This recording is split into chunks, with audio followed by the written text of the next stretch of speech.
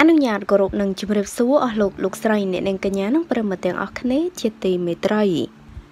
អាយ៉ាស្ងាត់មួយរយៈធំ ស្រាប់តែលើបរិយាបង្ហាញមុខបុរសម្នាក់ធ្វើឲ្យអ្នកគាំទ្រភ្ញាក់ផ្អើលដោយសារតែស្និទ្ធស្នាលគ្នាខ្លាំងជឿជាក់ថាប្រិមិត្តជាច្រើន បានទទួលដឹងហើយថា បើទោះបីជាបច្ចុប្បន្ននេះ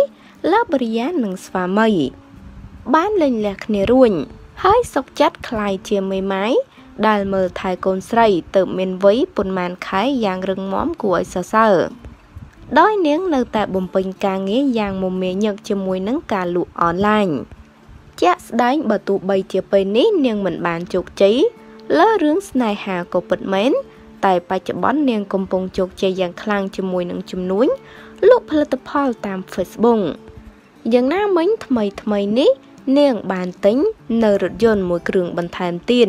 សរុបចំនួន3គ្រឿងហើយសុទ្ធតែជាឡានស៊េរីទំនើបទំនើបទៀតផង ដែលពិតជាធ្វើឲ្យអ្នកគ្រប់ត្រក៏ដូចជា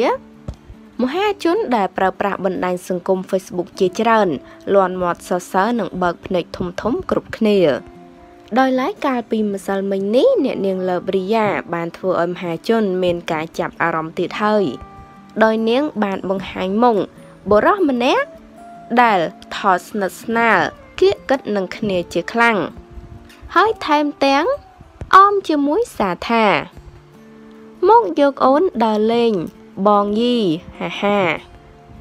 ក្រោយពីឃើញសារបែបនេះថែមទៀតកាន់តែធ្វើឲ្យមហាជនជាច្រើនខមមិនសួរអ្នកខ្លះក៏បានបញ្ចេញមតិថាប្រកាសជា